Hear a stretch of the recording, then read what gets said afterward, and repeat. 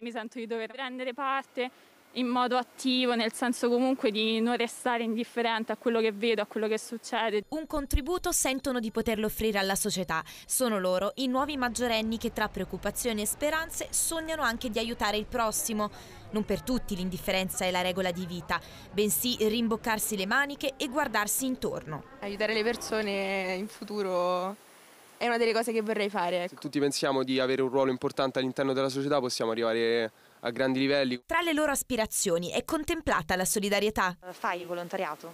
No, io non faccio volontariato, ma ammiro chiunque sia in grado di farlo. La solidarietà diciamo che c'è sempre fra persone, soprattutto fra noi giovani, anche se non sembra. Attraverso un esperimento personale, quindi vedere quali sono poi le, le mie capacità, cercherò di dare un contributo al mondo. Sento il dovere di impegnarmi a livello sociale, però devo ancora trovare il modo di farlo. Ma c'è chi un modo per aiutare l'ha già trovato, come queste 80 persone che in mattinata a Roma si sono ritrovate al Colle Oppio, simbolo sia di degrado che aiuto umanitario, per ripulire il parco. State offrendo il vostro contributo per la vostra città, perché? Perché è importante, si riempie di significato quando le persone prendono parte attiva alla bellezza della città. Mi sembra giusto dare ripulire un po' la città. L'impegno di Retake è proprio questo, restituire bellezza a luoghi colmi di storia, ma spesso abbandonati all'incuria.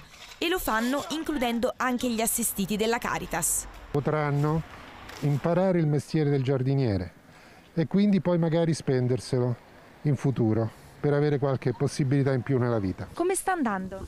Benissimo, hai visto quanta gente c'è? Bellissimo collaborare tutti insieme, tutte le persone a cui potremmo dare un altro tipo di vita.